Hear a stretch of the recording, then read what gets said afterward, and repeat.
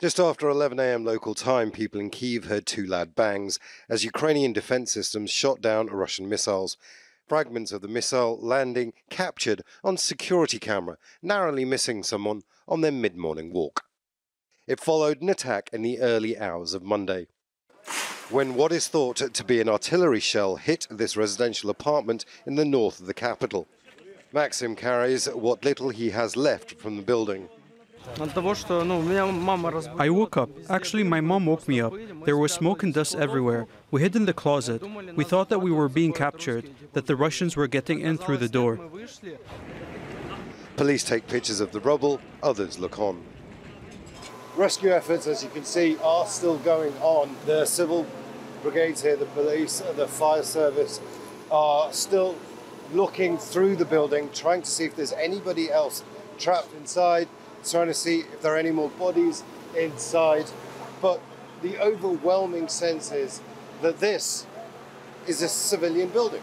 There is there is nothing more that you can say about that. Look at it. It's a residential block, an apartment block.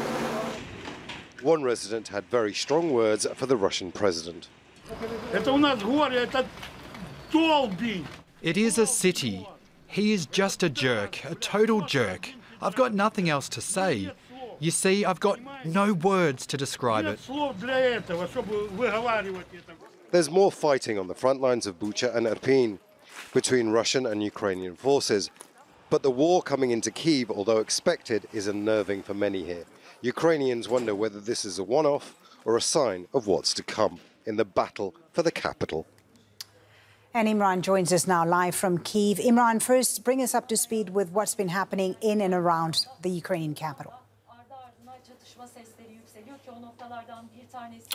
Well, right now it's uh, just after 8 p.m. local time, and I'm just going to get out the way of the camera and show you the curfew has begun. It's going to be another very nervous night uh, for the residents of the capital, Kiev, particularly uh, because of that uh, apartment block that was uh, shelled by artillery in the early hours of Monday morning. Uh, a lot of the residents now are very worried that that a may have been an opening salvo in the uh, war for control of the capital, Kiev, or uh, a lot of what military analysts are suggesting is that it may have been a way to keep pressure on the Ukrainians, even as the talks uh, were going on. Mm. Whatever the reason for it, it definitely means that the people that are left in this town, and there's 50% uh, of people left in this town, 50% have evacuated, and we are seeing more and more evacuations continue, but they're not coming from um, the, Kiev, the capital, Kiev itself. They're coming from places like Bucha and Irpin, uh, places that are front lines where the Russians and the Ukrainians are fighting hard with each other. Uh, those people are coming here and then they're getting out via the central sta- uh, train station. Mm. So, although uh, the curfew is on, it's going to be a very nervous night right. Uh, for a lot of the people left uh, in the city. Despite the tension, Imran, and the fighting, uh, the two sides, as you say, are still talking, it seems. Do we know what they're talking about and whether any progress has been made?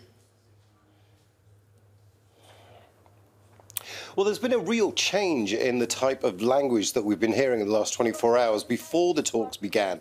Both sides were saying, uh, yes, we are talking, there are things we are talking about, and we and the Russians actually said, uh, we're looking forward to releasing a joint statement. Those talks began on Monday, uh, and they came to an end with very little progress being made. In fact, uh, one of uh, the people who's involved in talks, he's the presidential advisor and uh, chief negotiator, if you will, actually said, uh, and he's the chief Ukrainian negotiator, he actually said, although Russia realizes the nonsense of its aggressive actions, it still has a delusion that 19 days of violence against uh, Ukrainian peaceful cities is the right strategy. Uh, he's also uh, said that it's something that the communication is being held, yet it's hard. So the language has changed over the last 24 hours. There was a time tiny bit of optimism uh, the day before the talks. So on the day of the talks, both sides have retreated back to their positions. Ukraine very much defiant, and the Russians very much saying uh, that they'll continue their operation. Uh, now, the talks, mm. this is the fourth round. The last three rounds of talks have concentrated on humanitarian corridors, uh, on getting aid into besieged areas. There was a hope that they were going to talk about something other than that. It looks like that hasn't happened. Both sides have walked away from the talks, and this joint statement that the Russians said that would come today never came. Imran, thank you for that update. Imran Khan live for us in Ukraine's capital, Kiev.